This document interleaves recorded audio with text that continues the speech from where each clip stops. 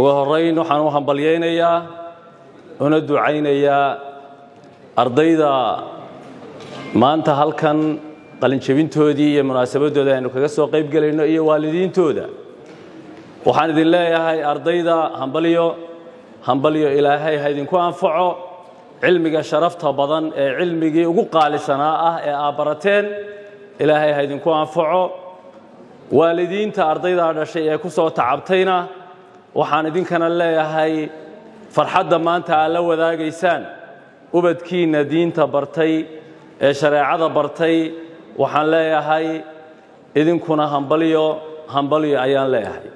Farxadda ugu weyn ee waalid waxa ay tahay ilmihiisaoo diinta bartay. Ilmihiisa oo diinta bartay waa farxad weyn weeye. Idinkuna farxad kula dabaaldega oo kula ciida carruurtiinna iyo ardaydiinna. Intaa dabadeed jaamacatu najaax waa laga hadlay maraaxiishay soo martay waa laga hadlay guulaha ay gaadhay waa laga hadlay. Inankii halkan joogayna waxa uu ka afeeftay in maanta maaragta aan wax kale la farafaraynin horta waxaa idiin sheegaya anu maanta waxaan ka hadlayaa. Siyaasadu wayse qabta ayaan ka hadlayaayo. Macnaheeduna waxa weeye siyaasaddu marka ay waysada qabto wixii ammaan lena way ammaantaa oo qofkii wax taray waa lagu bogaadiyaa. Dee halkan maanta mucaaradkii iyo xukuumaddiiba way wada fadhiyaan. Waxaan ammaanayaa oo hortiinna ku ammaanayaa.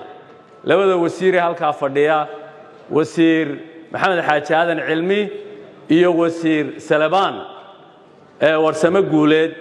Oo runtii jaamacadda najaax aan ogahay inay saaxiib dhow la yihiin inay wax badan la qabteen inay goobo badan markaa ay ka saacideen. Waan ku ammaanayaa jazaakum allahu khayran ayaan leeyahay halkaa ka sii wada garab istaagga iyo taageerada jaamacadda. Waxaa kaloo isagana ammaanaan u soo jeedinayaa dee guddoomiyahayga ururka ka maxamuud xaashi cabdi oo ilaa iyo berigii uu madaxtooyada fadhiyey jaamacadda najaax mar qura qalinkiisu aanu ka qallalin oo mar walba naga waraysan jiray oo odhan jiray waxa weeye jaamacaddii ka warrama maxay u baahan tahay? Isagana aad iyo aad baan ugu ammaanayaa dee muraadka maanta uu leeyahay iyo ururkaa uu wadana waxa aan idinka codsanayaa faataxada inaa u martaan in markaa waxa weye ilaahay ku guuleeyo inuu xisbi qaran noqdo maadaama dee culimmadii aad tihiin intaasina waxa weeye waa codsi weeye. Intaa dabadeed intaa intaa u dhaafi maayo